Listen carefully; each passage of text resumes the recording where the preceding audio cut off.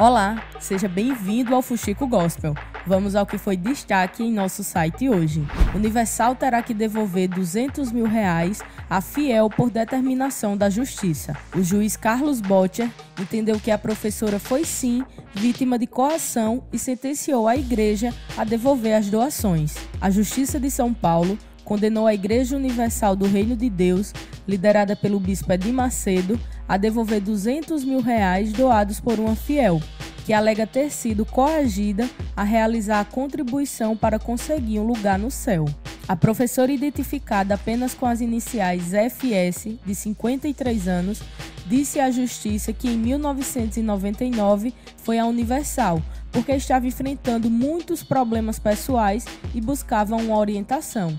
No decorrer dos anos, ela continuou frequentando a igreja e realizando as ofertas solicitadas e os sacrifícios financeiros, pois teria sido levada a acreditar que seria a única forma de estar próxima de Deus.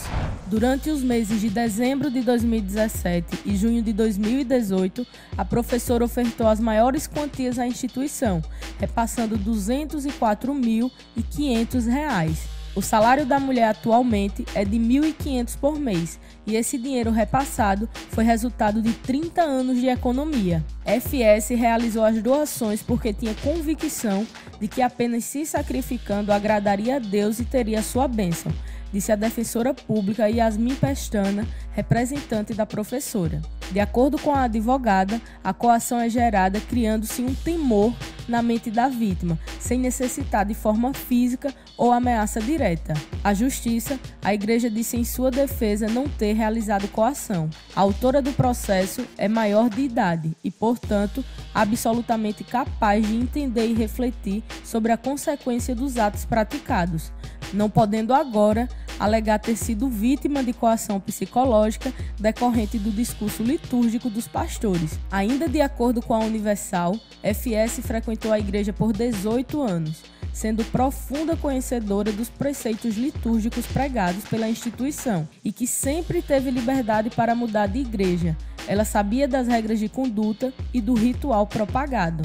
Para concluir, a denominação defendeu o dízimo bíblico, afirmando que este é necessário para sustentar o trabalho religioso, que remonta milênios e que não configura violação à lei ou aos costumes. Mesmo com os argumentos apresentados pela defesa da igreja, o juiz Carlos Botti entendeu que a professora foi sim vítima de coação considerando as pressões psicológicas empreendidas pelos membros da organização religiosa para a realização das ofertas. Diante disso, a igreja foi condenada a devolver os 204,5 mil reais, valor que deverá ser acrescido de correção monetária e juros desde as datas em que as doações foram realizadas. A Universal ainda pode recorrer da decisão. E você?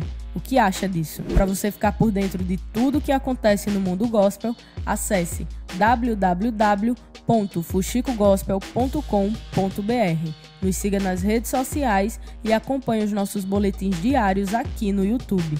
Tchauzinho e até a próxima!